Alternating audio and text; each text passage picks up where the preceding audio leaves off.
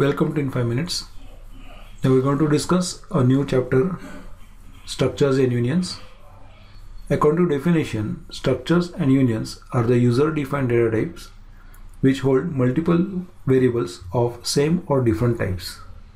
So, like an array, structure is a collection of multiple variables, but here a structure can hold multiple variables of same or different types and each variable will have its own independent name also.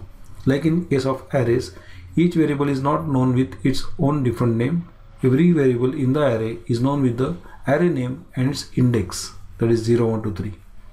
When we started our syllabus of C programming that is SPA, we started with basic data types like int, float, char which are the simple variables which hold single values and mostly numeric values. Then we went further to study arrays, little bit complex kind of variables, hold multiple values together of same type.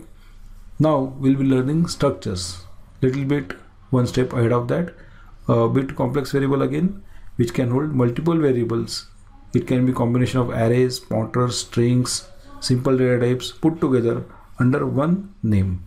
But each variable will be also known by its own name also.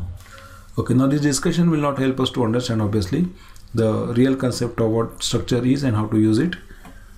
Let's first summarize what we studied. Structure is a user defined data type that holds multiple variables of same or different types. Variables stored inside the structure are called as members of the structures. Like in case of arrays, we call them as array elements. Here we call them as structure members. Members of structure can be only declared in the structure but cannot be initialized. So structure members inside the structure cannot be initialized. Actually, a structure cannot consist of any kind of executable statement. Variable initialization, inputs, outputs, calculations, loops, nothing is allowed in the structure. Only variable declarations are allowed inside a structure body.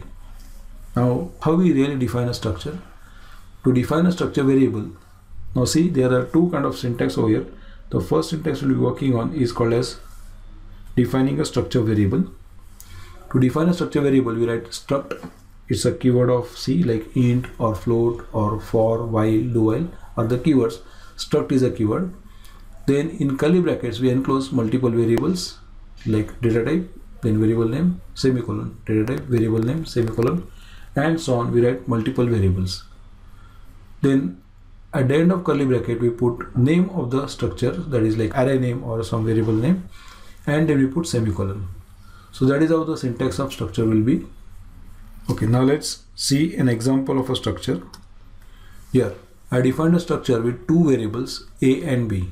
Struct keyword starts the structure definition, then open close curly brackets. In those curly brackets, I have mentioned int a and float b. The name of the structure is m, that is structure variable has name m. A and b are called as members of the structure. So we say a is an integer member and b is a float member. Now you can see over here variables can be only declared but cannot be initialized. So that is how we define a structure with some variable name.